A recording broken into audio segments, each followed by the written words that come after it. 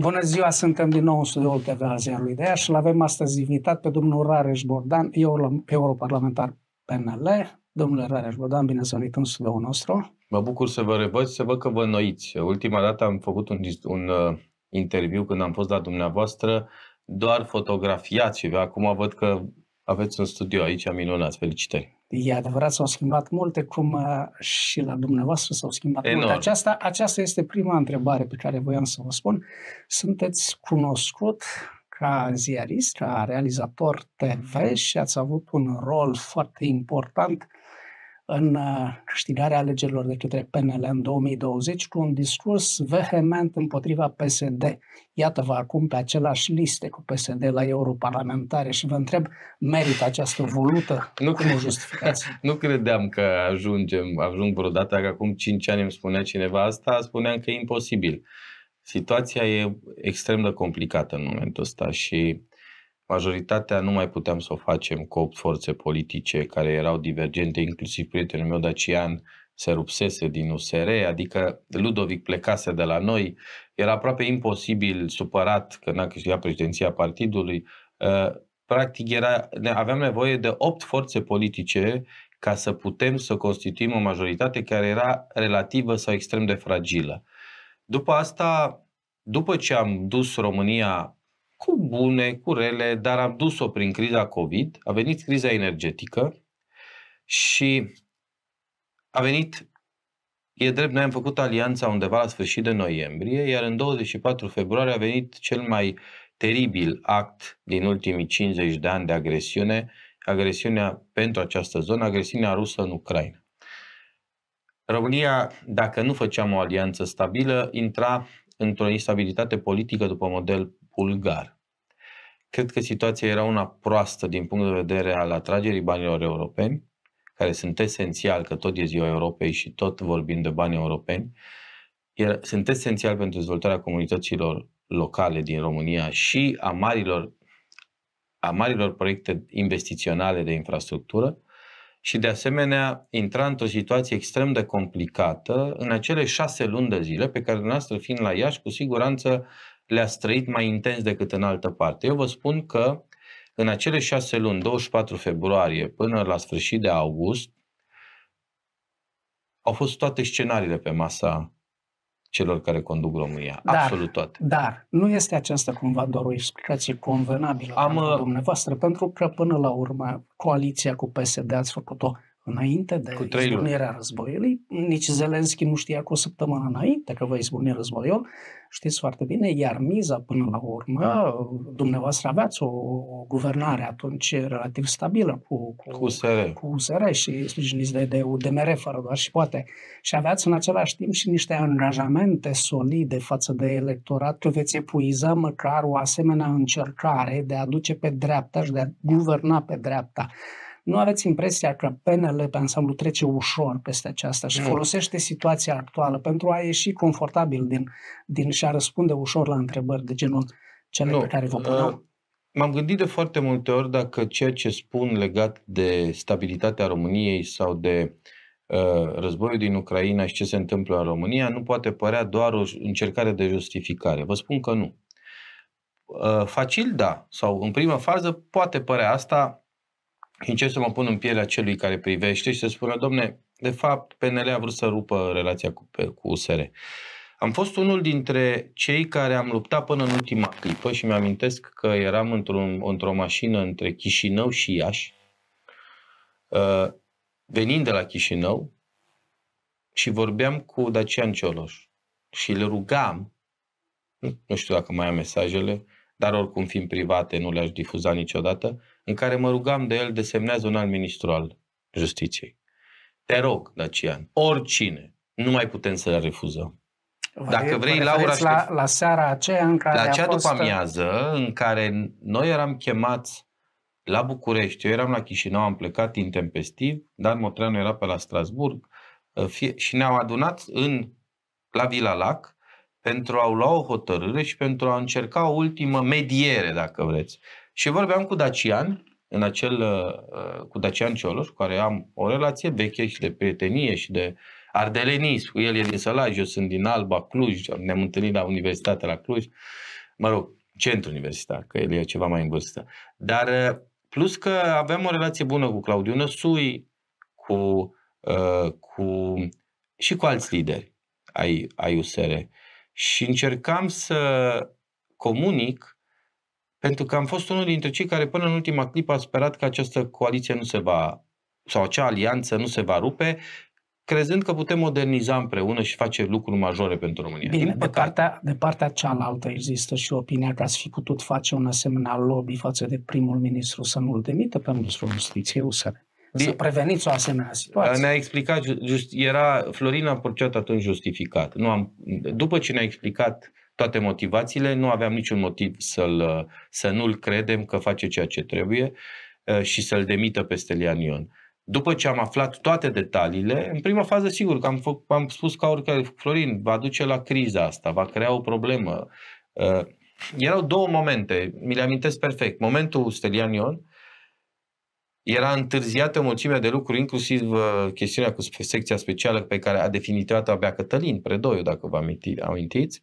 Legile justiției care veneau toate patru, 2 plus 2, și nu era niciuna definitivată, și mai era o chestiune care, pentru noi, care aveam 1340 de primari la vremea respectivă și 17 președinți de Consiliu Județene, era una vitală în paralel cu USR, care avea 72 de primari la ora respectivă și niciun președinte de Consiliu Județean. Era acel program Angel Salini. Un program Angel Salini de dezvoltare a comunităților locale, un program de 50 de miliarde de lei, per total, care urma să modernizeze școli, dispensare, școală, stradă și spital, dacă vreți, în mediul rural și în urbanul mic, așa a fost el conceput, la care USR se opunea, puteam să înțeleg din punct de vedere politic al strategiei politice, ei atacând urbanul mare, exact ca acum, dar pentru noi era vital. Ei având votanți și acolo foarte probabil, dar nu atât de mulți. Concentrația de votanți a USR la vremea respectivă, nu știu acum, poate e la fel, era în urbanul mare, în cele 10 orașe de urban mare. Cred că la fel e și acum, pentru că mă uit la listele depuse. Noi am depus 95% din cele 3241 de comunități, unități administrative liste, ei au depus în 30% dintre ele. Deci clar că concentrația e acolo. Deci ne-am certat odată pe subiectul Angel Salini și pe subiectul Stelian Ion. Atunci am scris lui Dacian și l-am rugat Dacian, desemnați ce, ca, ce uh, ministru al justiției vreți voi. Noi nu mai putem refuza pe nimeni. O vrei pe Ramona Strugariu, care e foarte bună și foarte dură.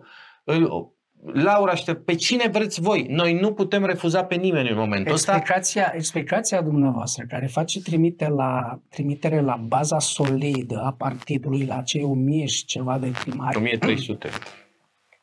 Ascunde cumva și o altă abordare pe care USR atunci a invocat-o. Și anume a spus că dependența dumneavoastră față de atâtea cerințe din uh, baza partidului necesită neapărat o abordare de control, pentru că atunci ei cereau mecanisme de verificare mm. anticorupție pe cheltuirea banilor respective. Dar ele existau, pentru că noi am fost de acord să introducem, și mă bucur că mi-aduceți aminte de acel moment și să le explicăm, pentru că nu cred că a fost făcut foarte aplicat niciodată, uh, pentru că atunci noi am fost de acord ca mecanismele să fie similare cu cele ale banilor europeni pe care le face DLAF-ul și OLAF-ul la nivelul banilor europeni. Am spus că nu vrem nicio diferență, vrem ca licitațiile să fie organizate în același fel și controlul pe cheltuirea banilor să fie la fel. Nu ne interesează direcționări de tip PNDL, nu ne interesează ca banii respectiv să nu fie dar banii nu îi luau primarii ca să-i bage în buzunar, îi luau să-i bage în lucrări de infrastructură Uh, de gaz, infrastructură de gaz, de apă canal, de școală, de probabil, spital. Probabil că marea majoritate, pentru că dacă e să credem DNA, la Prahova s-a întâmplat altceva. Okay, Iulian ăla e un județ. Ăla e un județ din Băi, 41. Este, este o persoană aproape la fel de puternică în PNL ca dumneavoastră. Iulian Dumitrescu. Acum, haideți să... Era prim vicepreședinte al partidului, dar acolo sunt două feluri în care putem privi Prahova putem să ne uităm la Prahova ca la un județ care a fost condus timp de 24 de ani de clanul Cosma, de mafia clanului Cosma, și care a stat, a stagnat, deși era la limitrof cu cea mai puternică zonă din România, București-Ilfov și ca regiune de dezvoltare, mai dezvoltată decât nord-vestul, numărul 1, și care stagna. Dacă ne uităm la ce s-a întâmplat în ultimii patru ani de zile, pentru că eu sunt două fațete întotdeauna și trebuie să le privim pe amândouă. E o fațetă a investițiilor și eu care sunt ardelean și sunt nevoit să vin pe Valea Prahovei, de la Brașov la Ploiești, mă bucur că în sfârșit se lucrează la trei centuri ocolitoare. Comarnic, Bușteni și Azuga. Nu s-au lucrat 34 de ani la ele. Au fost licitate și se lucrează. De asemenea, astăzi la Ploiești este cel mai modern centru ambulatoriu, 60 de milioane de euro. Astăzi, Prahova este județul din România cu cele mai multe comune și orașe din cele 11 conectate la rețeaua de gaz. Greșesc, greșesc dacă rezum ceea ce spuneți dumneavoastră cu vorba aceea veche. Ca și făcut sau A furat, a, a și nu, făcut? Nu, pentru că eu nu știu dacă a furat. Asta debotează procuror. Eu am încredere în justiție din România, am încredere în judecători, în procurori și sunt absolut convins că aceștia vor căuta să arate acuzațiile, așa cum sunt absolut convins că Iulian Dumitrescu va încerca să se apere arătând că uh, lucrurile nu ar sta așa. E normal între cel acuzat și cel care acuză. Dreptul roman ne învață asta. Eu n-am cum să-l consider pe unul vinovat, așa cum nu am cum să cred doar o parte. Eu mă duc și dau crezare ambelor părți, și celui care spune nu am greșit, celui care spune ai greșit și în același timp mă uit la ce s-a întâmplat. Carol Davila are secție la Prahova, în Palatul Culturii de acolo. Uh, ambulatoriul e cel mai modern din România.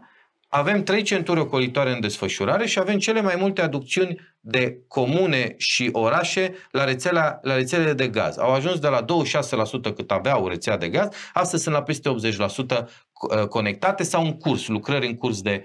Deci eu mă uit și la acea bucată, mă uit și la 3 miliarde de euro investiții și sigur, n-am motiv să mă îndoiesc de buna credință și de datele procurorilor, dar în același timp trebuie să dau și celui acuzat dreptul să se apere. Să, să trecem mai departe, dar aș vrea să, să puntez totuși că era o vreme în care Ludovic Orban își dădea demisia din poziția de candidat la primăria București pentru că era acuzat de DNA.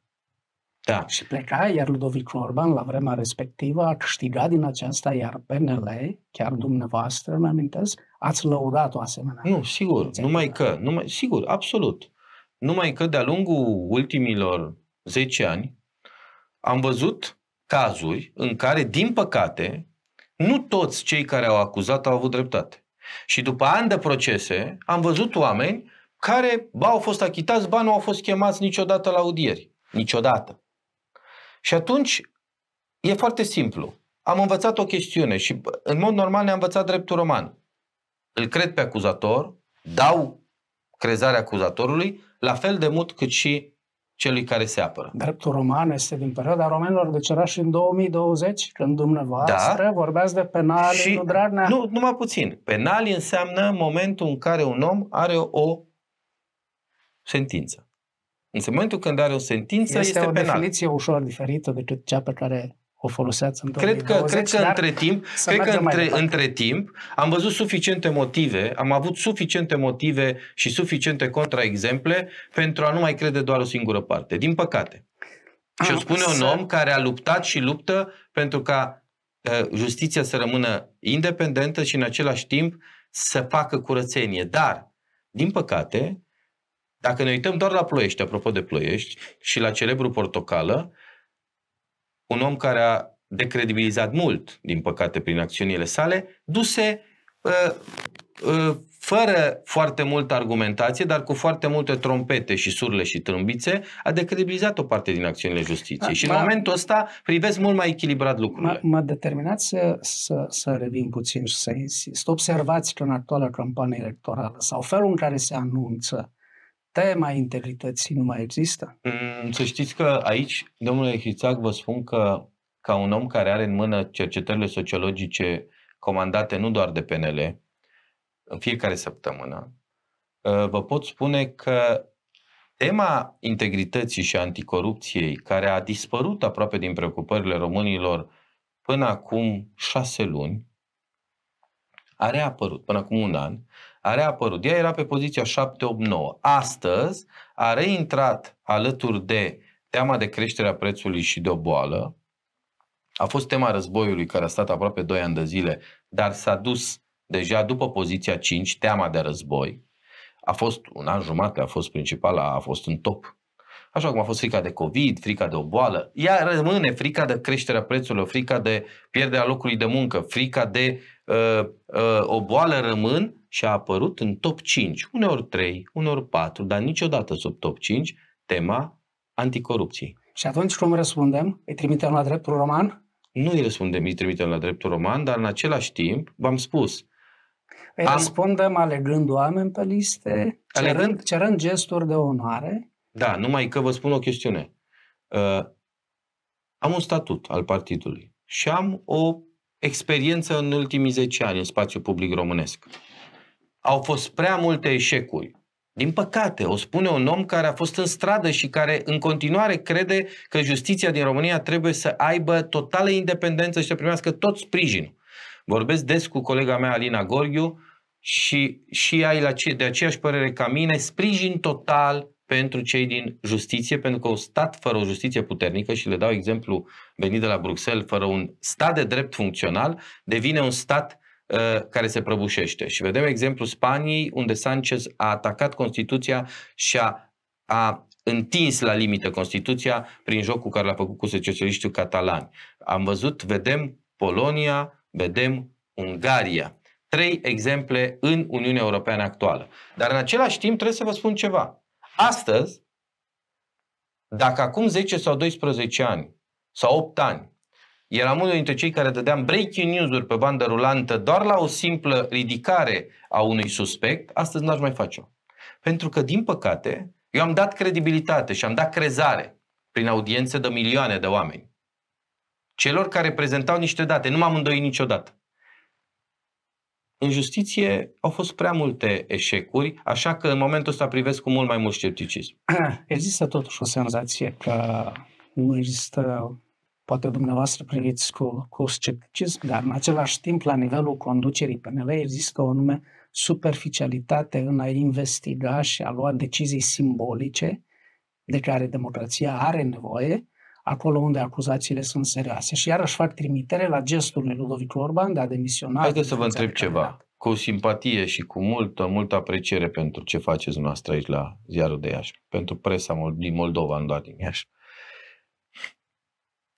Credeți astăzi că de la o simplă acuzație adresată lui Vlad Voiculescu sau lui Florin Câțu, ca să nu-l iau doar ca să pară un atac politic, îl iau și pe colegul meu, ar trebui ca cei doi să uh, stea ascunși într-o gaură și să nu mai candideze? Credeți că ar trebui ca de la o simplă acuzație Clotilde Armon, care e trimisă în judecată, mai mult decât Iulian Dumitrescu, e trimis în judecată. Aici ar, cred... trebui să, ar trebui să nu candideze? Nu, cred că ar trebui să candideze. Aici, aici cred că este schimbarea cumva de, de paradigmă în discursul electoral de acum. Că până și cei care erau cei mai vehemenți critici, useriștii, ajungând în situația asta, au adoptat același discurs. Nu, dar noi nu mai, să, fac mai mult, domnul Hrițac, o să vedeți ceva. Gesturi. Niciodată nu o să-l vedeți pe Rareș Bogdan sau pe Nicolae Ciucă sau pe Dan Motreanu sau pe uh, Bode sau pe alții sau pe Flutur, atacându-l pe șeful DNA sau al parchetului sau al DICOT, după modul în care l-a atacat cu cuvinte de o duritate și de obscenitate care m-a șocat pe mine, cum a făcut-o fostul meu coleg de guvern și de Parlament European, eminența cenușie, strategul USR, domnul Ghinea. Oficial, pe pagina de Facebook și în declarație publică. Eu n-am văzut un liberal și vă spun că dacă mi-arătați un liberal și au fost cercetați de-a lungul timpului, au fost acuzați, s-au retras. Un singur liberal din 282 de mii cât are partidul ăsta, care a folosit cuvintele pe care, la adresa șefului DNA pe care le-a folosit domnul Ghinea, pe mine recunosc că... Nu credeam, nu credeam că va fi atât de ușor să răspund la această întrebare. Mihai Chirica, primarul de Iași. Da primarul de Iași a fost trimis în judecată. Și l-a, a folosit cuvinte? A fost, a fost trimis în judecată în urmă cu două săptămâni în al treilea sau al patrulea dosar, având altele înainte.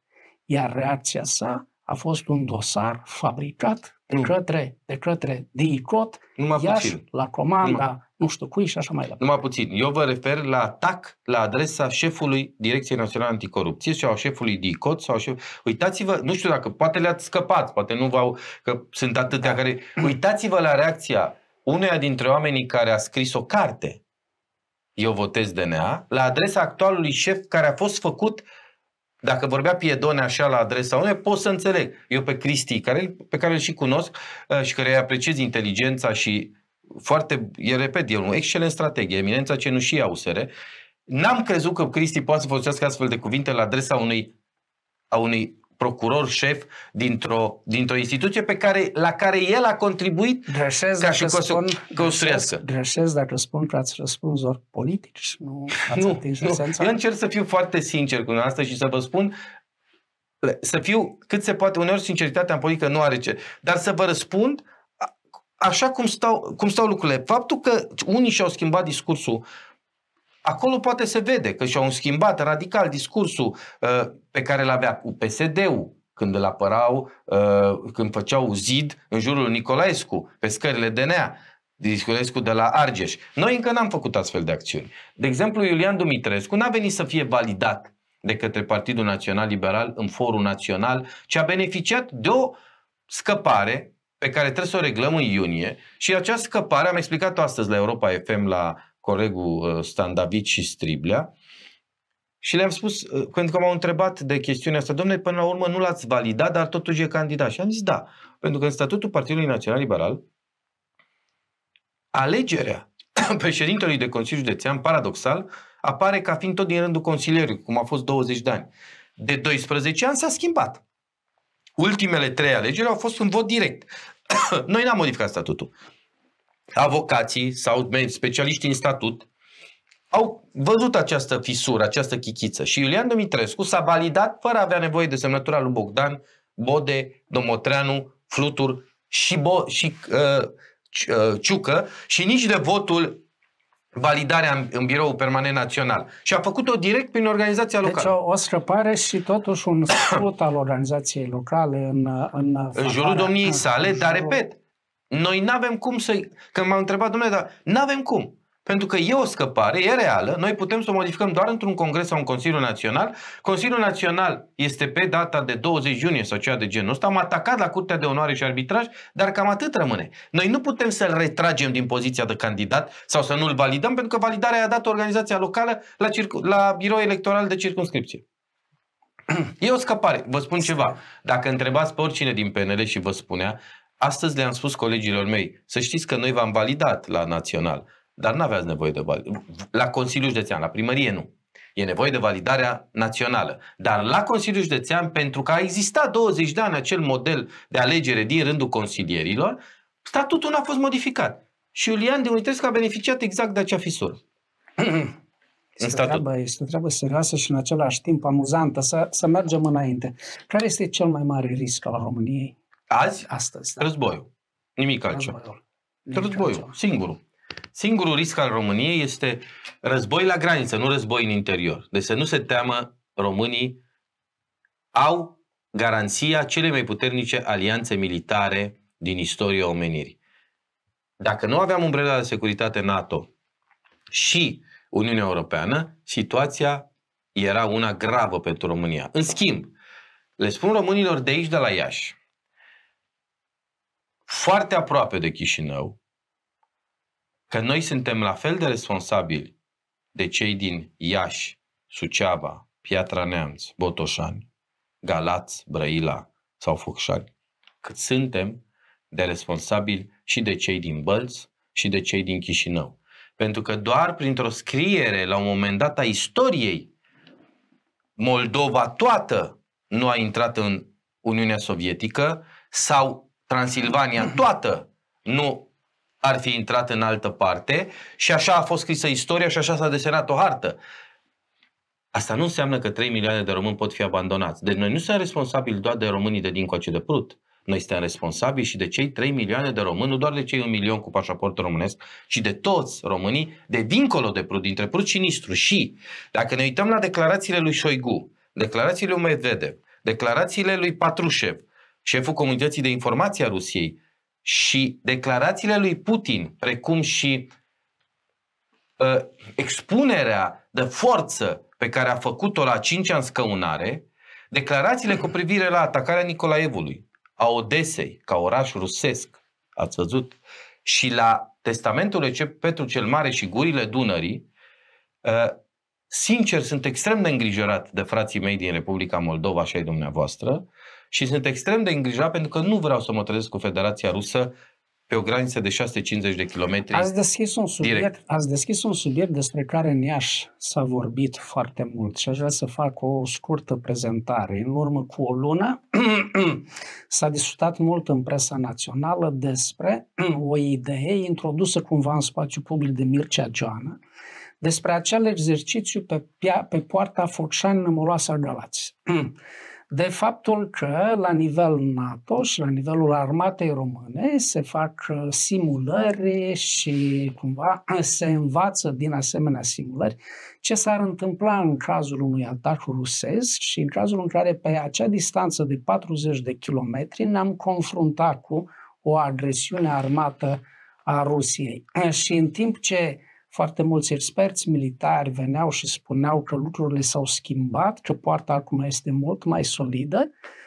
De aici, din Iași, un grup de istorici care activează într-o fundație Mișcarea pentru Dezvoltarea Moldovei observau următorul lucru, că nu se discută deloc despre o eventuală apărare pe Prut că în cazul, în scenariul unei agresiuni rusești în România, România ia în considerare doar apărarea pe Focșani, Nămoloasa, Galați. Și spuneau respectivii istorici, de altfel într-o, într-o prezentare foarte detaliată și foarte bine fundamentată, că după doi ani de zile în care Ucraina se apără pe 1400 de kilometri de front, România nu are o strategie de a se apăra pe 300 și ceva de kilometri pe linia Prutului.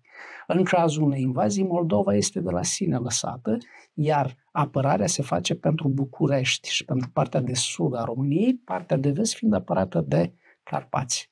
Am o, am o cu respect pentru distinși istorici și intelectuali ieșeni și pentru lumea intelectuală din Iași, una veritabilă, am o altă părere aici și o părere a unui om care stă de 2 ani și jumătate lângă un general de 4 stele un mare strateg și un general recunoscut de NATO și care a condus vreo 11 națiuni sub comanda sa, în Afganistan și în Irak. Nicolae Ciucă. El nu poate vorbi în spațiu public atât cât vorbesc cu el în mașină, între mâine, de exemplu, între ea și Suceava două Sunt curios cum, cum gândești tu. Situația e complet diferită. Complet diferită la nivelul corpului de armată. Mă mir că Mircea Joana a deschis subiectul legat de cei 40 de kilometri. Cunosc exact de ce, de ce zona Focșani, Buzău, fostul sediu armatei a doua, acum uh, este unul, un punct cheie în harta strategică a României, dar vă pot spune ceva. Uh, mai mult de atât nu pot spune, dar vă spun câteva chestiuni legate de modul în care România este apărată. În afară de Patriot, celebrul Patriot care de 48 de ore naște atât de multe discuții, pe care noi le avem. Nu vorbim de cele trei în achiziție, vorbim de cel care există deja. În afară de, de veselu, cu scop defensiv. Fără rășpate. Da, după cum știm foarte bine, defensiv. România are achiziționează celebrele sisteme HIMARS, puțin știu, cele care au făcut ravagii în armata lui Putin din partea și care au salvat practic Ucraina și au oprit invazii. România are HIMARS, România are contractate Abrams, România are Patriot, România are cele mai are F-16 plus încă 36 în achiziție pe lângă cele existente și are F-35, cele mai teribile uh, avioane, toate în achiziție proprie. Are câteva mii de drone și o mulțime de alte achiziții făcute în ultimii 10 ani. Înainte pentru că, vedeți, sunt lucruri pe care știu, unele pot spune, unele nu, dar sunt lucruri care au fost achiziționate atunci când Nicolae Ciucă era ministru apărării sau când era șef de stat major și când Putin a atins Crimea. A fost unul dintre puținii oameni care a tras atenția că lucrurile nu se vor opri la Crimea și că Occidentul, a, Occidentul și lumea democratică a acționat mult prea moale în raport cu Federația Rusă pe subiectul Crimea. N-au fost mulți. Poate nu ar fi rău să-i dați o idee domnului Ciucă să vină personal sau să trimită pe cineva să participe la asemenea discuție aici, poate chiar într-un cadru, să spunem, uh. mai puțin formal, în care ar putea să aducă detalii. Istoricii noștri vorbesc că știu că există asemenea echipamente luate de România, fiind foarte bine documentați, știu și unde sunt amplasate și constată totuși un spațiu lipsit de suport. Vă spun o chestiune. Nu există nicio palmă de pământ românesc, nici o palmă de pământ românesc care să nu fie astăzi apărat de sistemul de apărare național, de armata română, de profesioniști extrem de buni. Nu există multe sisteme de informație, de inteligență militar, cum este celebra, celebră departament de informație al armatei, transformat în serviciu de informație al armatei, cel mai vechi serviciu de informație din România. Lumea știe de SRI, de SIE, mai a aflat de SPP, mai știe ceva de STS când vin uh, din când în când. În rest, nu prea știe că, de fapt, cel mai vechi serviciu de inteligență pe care îl are România este Serviciul de Informație al Armatei, care este unul cheie pentru NATO, este unul cheie în relaționarea cu celelalte servicii și care este extrem de funcțional și extrem de bun.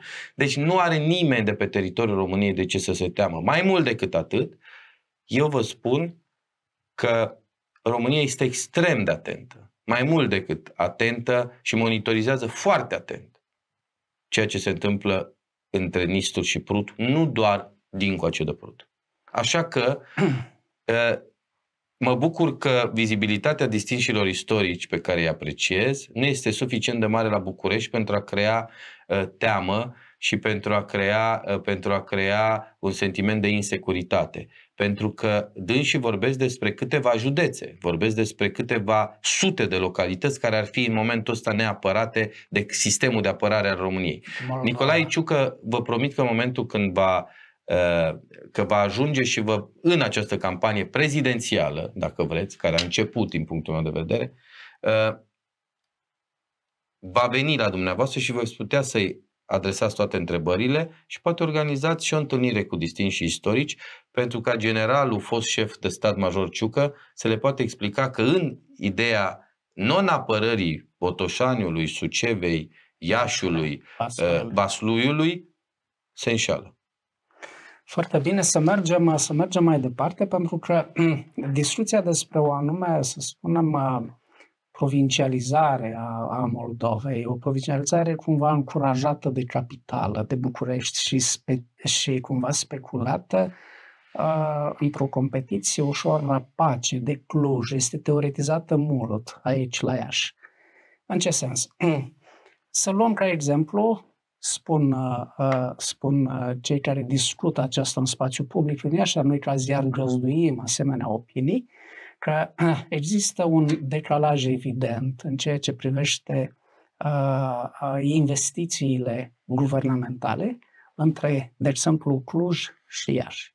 Și dacă luăm programul PNRR, de exemplu, gândiți-vă că Clujul a luat un miliard de euro pentru acel metrou, tren metropolitan, în timp ce toate investițiile din Iași, abia dacă se duc undeva la vreo, prin PNRR Știu. mă refer, da. la vreo 200 de milioane. Iar cheia, să spunem, sau investiția cea mai mare propusă de Iași, un institut regional al inimii, care ar fi consolidat statutul de capitală în domeniul infrastructurii sănătății în Moldova Iașului.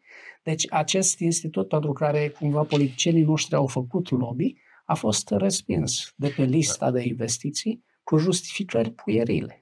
Știți ce înseamnă puierile? Înseamnă că în fața Iașului au trecut, au fost selectate alte investiții, alte spitale din țară, multe din Ardeal, unde PNL-ul stă foarte bine, uh, de exemplu, iar ulterior, când Marcel Ciolacu a preluat rotativa, a spus în felul următor, am văzut pe lista de investiții spitale care nu aveau nicio justificare, uh, nu da. aveau acte. Vă pot, vă pot, aici sunt pe de-o parte de acord cu dumneavoastră, pe de-o parte nu sau nu cu dumneavoastră, ci cu cei care susțin opiniile respective. 1.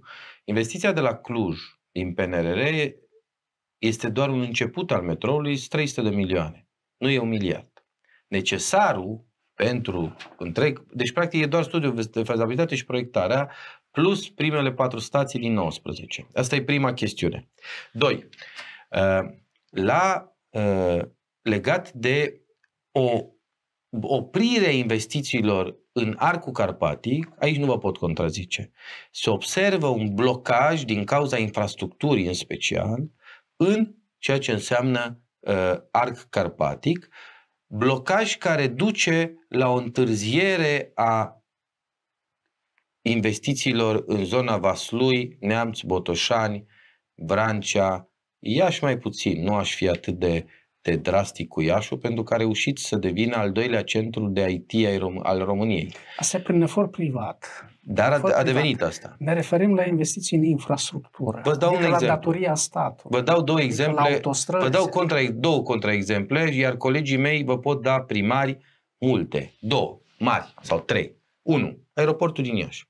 Aeroportul din Iași astăzi este cel mai modern aeroport din România. Are trei și al patrulea, patru Skygate-uri. Clujul nu are niciunul, doar Otopeniu are. Timișoara nu are, Sibiu nu are. Uh, deci cel mai modern aeroport a fost făcut cu 100 de milioane bani europeni, exclusiv bani europeni. Modernizarea... Uh, bani uh, europeni care nu sunt bani din PNRR, nu sunt nu, bani din... În PNRR, bugetar nu, în PNRR, în schimb, vin cu altă informație extrem de importantă. Colegii mei primari din județul, și sunt mulți, sunt 50, 25 din ei au renovat școli sau au introdus toalete în curte cu bani din PNRR în, în școli cu bani din PNRR. Au renovat dispensare cu bani din PNRR, iar două autostrăzi, primele două autostrăzi, care în sfârșit leagă Moldova, pe tronsoanele care se lucrează, se lucrează cu bani din PNRR. A șaptele a optul nu. A optul cu fonduri structurale și cu Banca Mondială. Dar a șaptele... A optul are două capete din PNRR. Este vorba de mercuranilajul și de... A, de exact. Din coace e totul din PNRR. Au fost... A șaptele e exclusiv PNRR. Tot e PNRR. Pentru că știu că atunci când am negociat în PNRR, cei de la Bruxelles ne puneau întrebări de ce tragem atât de mulți bani spre infrastructură rutieră că nu înțelegeau de ce procentul din 29 de miliarde, 14,5 împrumut, 15 uh, uh, granturi, granturi, de ce atât de mulți bani ne trebuie pentru infrastructură? Pentru că nicio altă țară nu solicita și le-am arătat că în alte țări situația infrastructurii rutiere e rezolvată. În România nu e rezolvată și marile provincii istorice rușinos la 105 ani de la Marea Unire nu erau, vorbesc de momentul respectiv, nu erau încă unificate prin uh, autostrăzi și circulam pe aceleași... Autostrada A7 este bifată ca o realizare, ca o, ca o PNRR. Totul PNRR. deosebită din PNRR făcută de actuala guvernare, dar ea vizează o infrastructură națională, pleacă din București da. până la Siret. Este un lucru foarte, e foarte bun, important și foarte strategic. Important, și strategic, pentru Republica Moldova, foarte, nu doar pentru legătura bine. dintre... Întrebarea, întrebarea mea cumva vizează cumva altceva. La spital vă spun altceva. Lucru. La spital știu că a venit inclusiv la mine vizează, șeful proiectului. Domnule Rașbăra, vizează următorul lucru. Cât de important este faptul că o comunitate locală, un județ, are la nivelul administrației centrale sau la nivelul structurilor de putere centrale oameni influenți. E foarte important. Este foarte important. Este foarte important. Clujul a avut, a avut prim-ministru pe Emil Boc. Da. A avut o serie de, de politicieni. oameni politici. Dumneavoastră sunteți la vârful PNL și influent fără doar și poate. Emil Boc, care a fost prim-ministru. Vasile Dâncu la, la, la PSD, Pușcaș, care a fost înainte. Ioan Rus la PSD, cât Ioan a fost. Deci a avut, PSD. practic... Domnule, a Iașul avut... nu a avut. Afară de Relu Fănechiu, care a stat puțin și a fost luat de DNA, Afară de trei luni, Mihai Răzvan Ungureanu, Iași nu a avut figuri la vârful puterii din România. Dar în Iar aici, timp... aici în Iași se spune în felul următor, domnule, pentru că nu am avut oameni acolo sus, nu am adus aici mic. Dar și știți că... lucrurile par a fi, par, par a fi evident. Uite, vă dau că... un alt exemplu. Uh, domnul Mihai Chierica. Parcul auto de transport în comun pe care îl are Iașu nu l-au foarte multe orașe din România și e făcut din 160 de milioane bani europeni, în care sunt folosiți azi 115. De, de minister, nu, nu e ministerul lui aici. A fost și el cumva surprins și a avut un asemenea noroc. Era, era la vremea respectivă, era, era ministru, era din, din, din uh, partidul de, de, de altă natură. Nu vreau să spun că nu vreau să spun că nu Eu s-au vă făcut. Sunt nu s-au autobuze, făcut, tramvaie și trolebuze Vreau care să spun sunt că moderne. Există, există o frustrare în Iași. Iașul este capitala Moldovei. Este. Iașul Un oraș este, absolut fantastic. Iașul, Iașul a fost cumva istoric în situația de a rivaliza cu Bucureștiul pentru statutul de capitală a României. Și a Iașul se salvat, simte- pentru că a fost retras și- aici și- guvernul. Și, da, și Iașul se simte cumva frustrat că istoric nu a beneficiat de investiții în infrastructură. Cumva vede că în jurul său sunt orașe care se mișcă mai repede Aici, și voiam să vă întreb, din experiența dumneavoastră de un politic, dar și de ziarist, Dom'le, de ce, de ce în Cluj apar oameni mai degrabă cu un apetit mai mare pentru putere decât în Iași? De ce, de ce în 33 de, de ani, dacă numărăm, l-am avut pe Ion Solcanu, care era un intelectual care plutea prin Parlament și atât, nu știa ce înseamnă banul sau dacă știa, nu, nu știa cum să-l direcționeze aici, în timp ce la Cluj au fost oameni foarte uh, pragmatici. Cu- Dacă v-am spus vreodată problema, de, de ce? Cum- Cumva Poate e ușor de apropierea- aici. m-am întrebat, poate apropierea de Occident, poate supraviețuirea sub uh, regimuri succesive. M-am întrebat, chiar m-am întrebat de asta, dar să știți că de-a lungul, îmi amintesc, de exemplu, eu am activat în PAC ca tânăr. Și aici aveau, erau doi oameni absolut remarcabili la vremea respectivă. Era primarul Simirat, care avea o forță fantastică în cadrul partidului Alianței Civice și apoi în PNL, și Liviu Antonese, intelectual de marcă. Partidul moldovenilor a făcut Uh, atunci o, o, o, o, o chestie. Nu, după aceea a, Vedeți, a plecat de la dar, noi. Dar, dar, a plecat dar, de la... chiar, chiar, chiar și în cazul lui Simirat. Dom'le, Funar a făcut pe UNR, Simirat a făcut Partidul Moldovenilor. Simirat a rămas în Odrada de aici, cum se spune, la Iași, la Botoșani, nu a avut un impact național. Până la urmă a dat partidul pentru un post de ambasador la Havana, în timp ce, în timp ce pe UNR-ul și Funar mai târziu au avut o altă învergură. Cred că Au intrat într-un patrulatear roșu la guvernare, au împins oameni, au... e, Lucrul acesta lipsește în Iași. Clujul este prezent în guvern din anii 90, în structuri intermediare, la nivelul secretarilor de stat, la nivelul funcționarilor. Pentru un om de afaceri din Cluj care pleacă la București, are cu cine vorbi. știți, Un eșar care pleacă la București și nu găsește. Nu, la întotdeauna am spus o chestiune și înțeleg exact frământările și mă bucur că stăm de vorbă pentru că, practic, înțeleg mai mult din anumite poziționări, inclusiv ale colegilor mei, care uneori reproșează chestiuni legate de direcționări de bani în cadrul spitalelor sau în cadrul proiectelor care s-ar duce mai mult spre Cluj sau chiar în interiorul PNL. Și înțe- îi înțeleg acum. Uh, mai mult. Aici sunt două chestiuni. Pe de o parte, cred că Clujul a trebuit să supraviețuiască.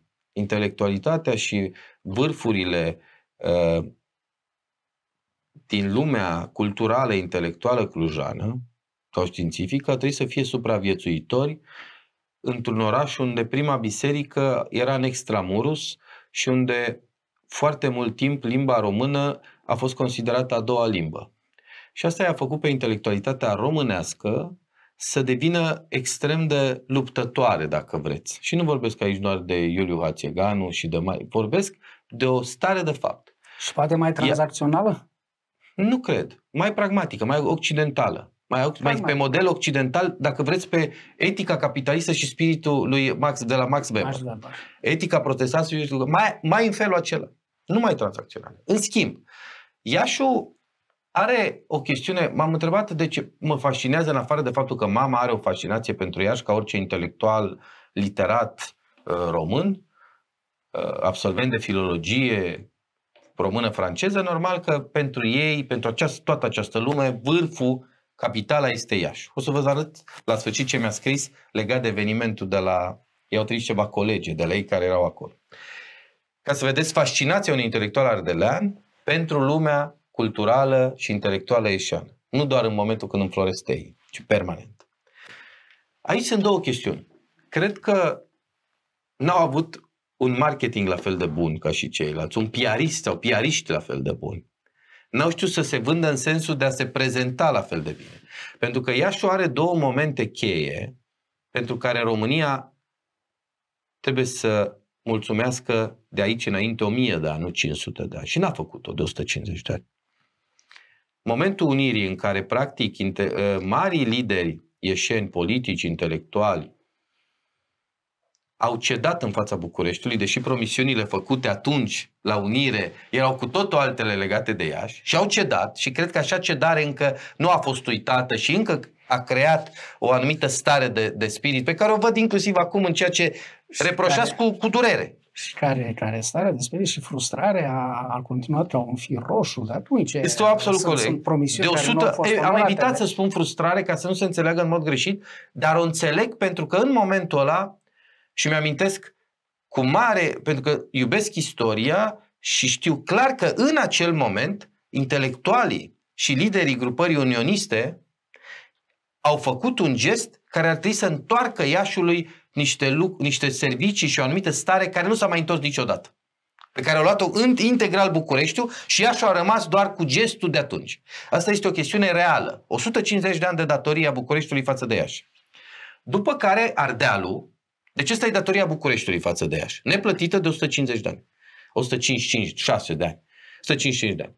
Și încă o datorie pe care o are Ardealul în fața Iașului. Atunci când Ardealul a fost eliberat și când celebru Moșoiu a eliberat ultima mare brazdă Careiu și Oradea, cetatea Oradiei, Arad, Oradea Carei, cei care au murit pentru eliberarea Transilvaniei mele au fost Balahi, Olten, Dobrogeni, 30% și 70% moldoveni. Eu am spus-o și o spun nu pentru că sunt la Iași. Am spus-o în emisiuni de televiziune și am spus-o la Bruxelles și o spun peste tot. Mai trebuie să treacă 300 de ani în care ardelenii să le mulțumească moldovenilor pentru că prost echipați, pentru că fără a fi cei mai bine instruiți, au venit să lupte cu soldați mult mai bine echipați, mult mai instruiți, pentru a-i elibera și pentru a-i lupta. Vorbeți, vorbeți foarte frumos, dar real. oare de ce am senzația că dacă ați nu e real. Fi, că dacă ați fi prim-ministru, cumva mai mulți ceva. bani s-ar duce tot în Ardeal? Nu, și vă spun de ce, nu. Deci, datoria Ardealului, al Transilvaniei față de Moldova, este, este sacrificiul de sânge pe care l-a făcut, l-a făcut moldovenii pentru liberarea Transilvaniei, iar, sacri, iar datoria Bucureștiului față de Iași n-a fost plătită. Practic, ă, Iașul a fost tras pe sfoară într-un cum, limbaj cum de stradă. Asta? De... Este adevărat acea zicală în politică, precum că puterea se ia, nu se dă?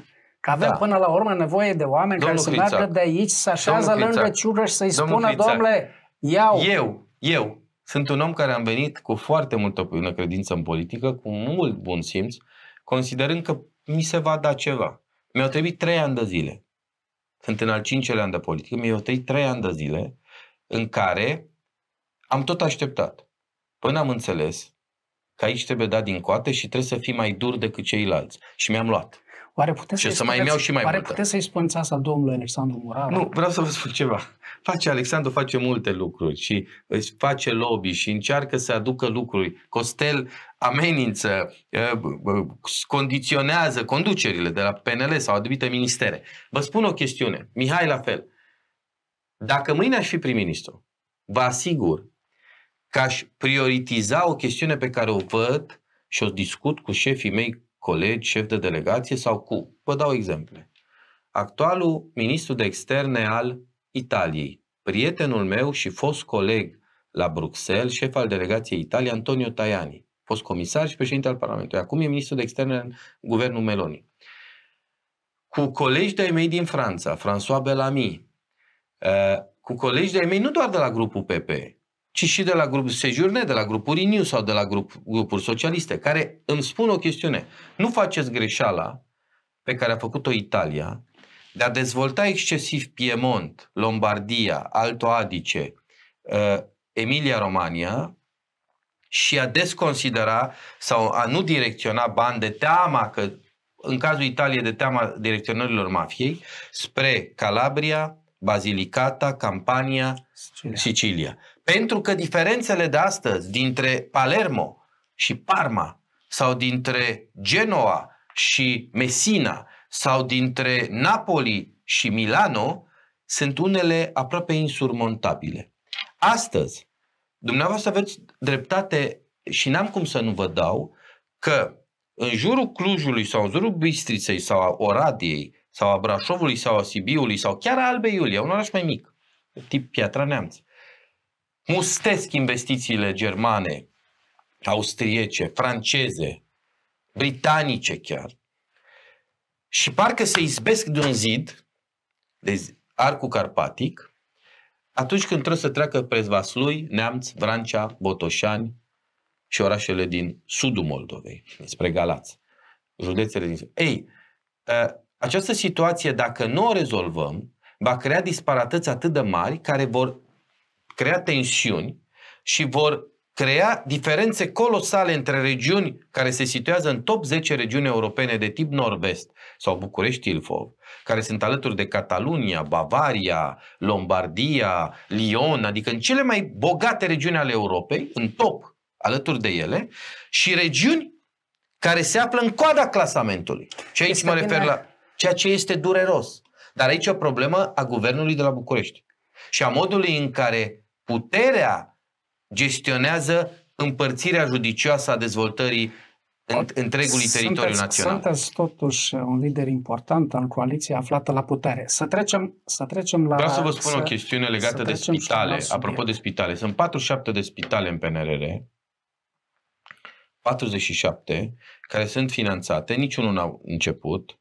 Uh, din Moldova ne-au fost trimise atunci în afară de acest centru care nu vreau să greșesc și n-am vrut să avansez, dar discuția a fost legată de un spital regional care urma să se facă și care cred că a început este vorba de un legat institut, de un, de, știu, un știu, institut de inimă. Știu. Spitalul regional este o poveste știu. veche de 12 ani. Am înțeles că totuși începe, am toate trei. De atunci, în sfârșit începe, încep toate este, trei, și Craiova și Clujul și Iașu. Dar, nu cred că dar vă spun ceva, eu dau exemplu, culmea ironiei, apropo de spitale că exemplul pe care îl dau tuturor în discursurile mele, nu doar din campanie, ci la întâlnirile mele, este un spital din Iași, pe care l-am vizitat. În Iași există un spital și un centru uh, ambulatoriu, un centru de urgență, care este printre cele mai moderne din România. Spitalul de copii. Spitalul de copii a fost renovat cu bani europeni serviciile de acolo, și este un spital regional, practic, el nu funcționează doar ca un spital local, ci ca un spital regional. El aduce copii de la 200 de kilometri spre Iași. Și el, ce am văzut eu acolo, printr-un management absolut spectaculos și exclusiv cu bani europeni renovat, 68 de milioane și 40 de milioane în acel centru complet nou, de centru, centru UPU pentru copii cu 46 de paturi. Vă spun că n-am văzut nici în Cluj, n-am văzut nici în Baia Mare, nici în Oradea, nici în Timișoara, nici în Craiova, nici în Constanța. Am văzut la Iași. Deci iată că Așa există este. totuși și astfel fără, de... Fără, fără doar și poate ați menționat aeroportul, menționat spitalul de copii, ambele sunt investiții cumva trecute în fișa de prezentare de campanie a PNL, sunt adevărate, sunt adevărate. Eu vă spun, nici măcar nu știam despre cine ambele, la... Eu vă spun doar că sunt reale. Ambele au fost bani europeni. cumva gândite înainte, dar foarte bine că au fost puse în practică spre deosebire, de, auto, spre deosebire de altceva ce nu a fost pus în practică, de exemplu, sau cred că a fost cumva într-un, într-un mod ușor, aș spune eu, caricatural, vom ajunge la guvernare și în 30 de zile vom elimina pensiile da. speciale. Da. Nu, am, nu, am, nu, am spus așa. Voi ajunge la, vom ajunge la guvernare și, și trebuie, suntem obligați, am spus, ca în 30 de zile să tăiem pensie. Nu le-am tăiat în 30, le-am tăiat în 54 de zile. Le-ați tăiat? Da, în 54 de zile le-am tăiat pe data de 26 ianuarie 2020. Pe data de 28 ianuarie 2020, doamna Renate Weber, avocatul poporului, a atacat legea ca fiind neconstituțională. Pentru noi a fost o mare bucurie, o mare victorie. După care, Curtea Constituțională a stat 5 luni de zile pentru că a venit covid între timp prin februarie-martie și undeva la sfârșit de mai, început de iunie, s-a exprimat și a spus că legea e neconstituțională. A căzut, practic. S-a, au revenit în poziție.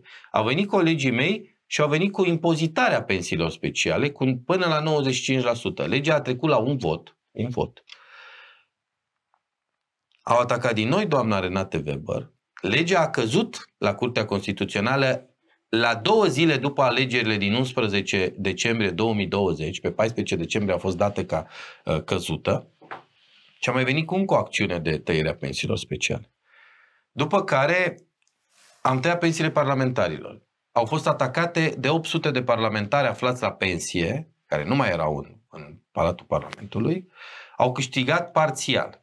În cele din urmă, singurele pensii speciale tăiate au rămas ale parlamentarilor și s-a obținut un singur lucru sau două lucruri. Unu, ca nicio pensie specială să nu depășească ultimul salariu, pentru că erau sute mii de pensii speciale care erau mai mari decât ultimul salariu și s-a mai obținut ceva, să se impoziteze cu 15-20% pensiile, iar pensiile sol militarilor și din cauza conflictului din Ucraina și a noii, noului, noua, noi geopolitici de securitate din regiune, nu au mai fost considerate de către nimeni, nici de către cei mai radicali susținători ai tăierii pensiilor speciale ca pensii speciale, ci au fost considerate pensii ocupaționale. Deci, practic, în rândul pensiilor speciale au rămas 14.000 de pensii speciale, care eu cred că în continuare ar trebui reglementate după modelul contributivității, pentru că altfel, chiar dacă avem 4 milioane 850 de pensii, din care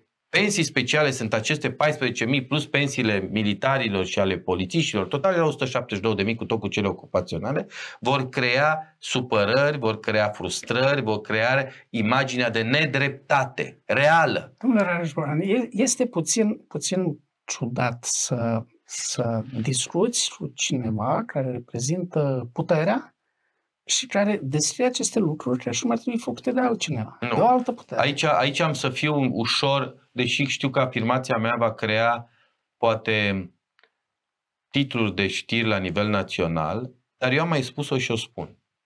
Sunt acțiuni pe care un guvern, oricât de puternic și oricât de mare majoritate ar avea, nu le poate face dacă nu are sprijin din toate structurile statului român. Nu vreau să fiu, să mă duc mai departe de atât. Pentru că și așa nu sunt neapărat prietenul, uh, sunt considerat mai mult un Crin Antonescu decât un om al sistemului care stă cu minte în sistem. Nu sunt considerat cel mai, uh, cel Ca... mai uh, uh, previzibil. Mai mult tot, mai, tot mai că sunteți mai puțin previzibil și mai puțin convențional, cred că ați putea recunoaște într-o emisiune de televiziune că la nivelul curții constituționale deciziile fundamentale sunt mai mult politice și se caută o îmbrăcare juridică pentru ele. În particular am să vă spun că nici măcar politice. Nici măcar politice. Și atunci, dacă dacă sunt asemenea... La nivelul târghi, statelor... Mă întreb, mă întreb oare, oare cum nu ați reușit o coaliție atât de puternică... Știți că promisiunea a făcut-o și Marcel Ciolacu și a zis rezolv ce n-a rezolvat Rareș. Până la urmă n-a reușit. la Curtea Constituțională. Vă spun o chestiune. Partidele politice și puterea unei coaliții de 60% în Parlament și a unei Consiliu de Coaliție din care fac parte, format din 11 membri, care teoretic ar trebui să poată să schimbe lucruri pentru că conduc două partide de 600.000, 700.000 de membri, care au guvern, parlament, structuri locale puternice. Nu suntem doar noi în România. Așa cum nici în America nu e doar Congresul și Senatul, chiar dacă aparent controlul lor e mai mare, cum nici în Franța nu e doar Macron, președintele și Parlamentul, adunarea națională, Așa cum nici în Germania nu. Mai sunt și alte structuri. Trebuie să-și dorească toate structurile o astfel de acțiune. O să spun mai multe particular, pentru că, sincer, nu vreau să intru cu nimeni în conflict, mai ales că cu, acei, cu aceea nu-i bine să intri în conflict. Nici măcar eu, care am o anumită libertate și o anumită, uh, o, un anumită uh, statură la Bruxelles, care mă apără de eventuale aserțiuni sau presiuni. Prefer să nu intru. Am învățat multe în perioada asta. Ă, cred că am făcut greșeli de-a lungul timpului. Nu o să fiu un aliniat, dar nici nu o să fiu un uh, Don Quixote. Mereu să reacționez la ceea ce spuneați. pentru că știți la ce mă refer, exact, și pentru că e ușor este, de... Este e greu de... îngrijorător să, să vezi S-a auzit spune și de la mine asta. Da, un ales Recunosc. la nivel european care să la nivel european propun, există, propun am o anumită... dacă vreți, un anumit uh, avantaj al poziției. Dar, repet, nu poți să faci, nu tot ce face coaliția sau liderii coaliției în anumite zone ale poziționărilor, ale înalte administrații, ale unor poziții în stat sau legislative sau uh, sunt hotărâte exclusiv în birou de la Palatul Parlamentului, de la ședințele coaliției de guvernare. Propun spre final să trecem printr-o serie de întrebări cu La dispoziție. În măsura în care știu scurte, să răspund. Dacă puteți numi trei liberali de la Iași care ar face față cu ușurință ca ministri într-un nou guvern în toamnă, excepțional. Eu cred că oricând și am, am, l-am propus pe Alexandru Moraru, ministrul culturii, nu vă ascund asta, a fost una dintre propunerile noastre de ministru al culturii. Cred de altfel că merită să intre în Parlamentul European și să facă lobby din Parlamentul European pentru ea și va avea toată capacitatea necesară. Cred că actualul nostru senator este un om remarcabil și cred că oricând ar putea ocupa o poziție de ministru. Iar uh, Lucian a învățat foarte mult, cel care e secretar general adjunct al guvernului, a învățat foarte mult și cred că ar putea intra fără nicio problemă în zona executivă, chiar la nivelul de ministru. Dacă nu va câștiga Consiliul Județean, Costel Alexa la mediu? Va câștiga va câștiga pentru că a făcut lucruri pentru ieșire. Dacă e cazul mediu... să mai vin de patru ori să-l susțin, voi veni de patru ori, de opt ori, de zece ori. Cum vă explicați că PNL Iași a ajuns să aibă mai mulți candidați penali în definiția veche decât ciumărușie? Domnule, avem primarul Mihai Chirica, avem Costel Alexe la Consiliul Domnule, câte trei, patru dosare trimise în judecată, nici măcar nu e o problemă doar de Domnul, domnul Vițac, sunt absolut convins că ieșenii care sunt oameni așezați, o oameni care cântăresc. Mergem la votul popor. Nu, nu. Ieșenii vor putea alege. Se vor uita și vor vedea acuzațiile, respectiv vor vedea realizările și vor zice, domne, merită Mihai Chirica să mai conducă Iașul, pentru că a fost un administrator bun, un manager bun a orașului, a schimbat fața orașului. Merită Costel Alexe pentru că a adus investiții, pentru că a făcut asta, asta, asta, a sprijinit introducerea de apă, canal, gaz, a modernizat asta, a făcut lobby pentru uh, a veni cu, cu capete de autostradă sau cu centuri sau cu aeroportul sau cu alte lucrări, sau nu. Sunt absolut convins că ieșenii vor fi extrem de pragmatici. Vor fi similari clujenilor din ultima sută sau, de ani. Sau celor din Baia Mare când l-au ales pe Cherecheș din închisoare? Domnul, domnul, uh, până la urmă, un administrator, un manager, i-a analizat după faptele sale.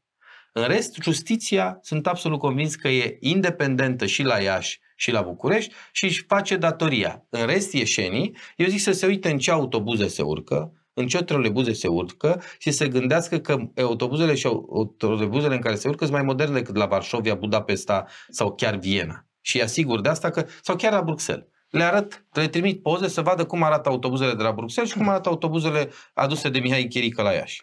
Dacă mâine nu ați mai fi europarlamentar și v-ați întoarce la meseria de ziarist, ați spune același lucru?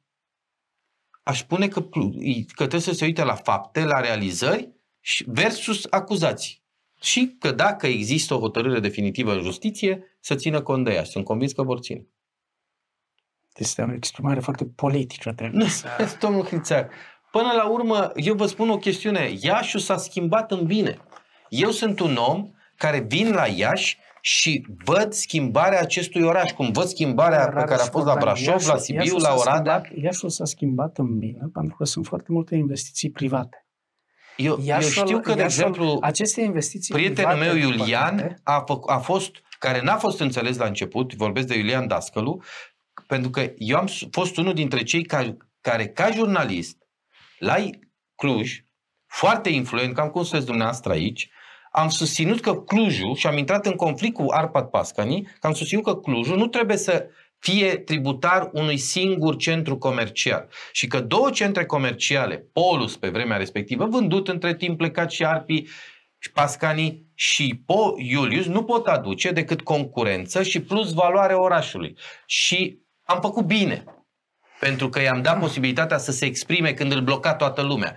Am văzut apoi Palasul. Știu toată povestea cu Palasul. Că do- până la urmă Palasul reprezintă un punct de atracție. Așa cum Palatul Culturii reprezintă un punct de atracție și această, Palasul reprezintă un punct de atracție. această cauză vă spuneam că Iașul s-a dezvoltat foarte bine, în cea mai mare parte datorită investițiilor private. Fără Dar și infrastructurii, poate, au fost, de au fost și bani, au fost și infrastructură pe fonduri europene, fără doar și poate ceva de la guvern. Și cu toate acestea, cineva care pleacă de la Palace în drum spre Suceava, stă câteodată o oră la ieșirea din Iași, pentru că infrastructura Astăzi. Era la ieșirea Încât, din Iași, da. spre Suceava, la ieșirea din Iași. Spre Podul Iloai știu, dar se construiește și centura din pod, de la Podul Iloai, de la orașul Podul Iloai. Tot pe bani este, este, pe, este pe în stadiu de proiect, da, în stadiu de da. hârtie și despre aceeași centură s-a vorbit și în 2020. Ascultați-mă, și despre A7 s-a vorbit și ea se vede, se lucrează 24 din 24 cu o firmă de aici, din Moldova. Chiar dacă nu din nordul Moldovei, ci din sudul Moldovei. Și pe mine mă bucură să văd că se, se lucrează nu o firmă din Italia, nu o firmă din Germania,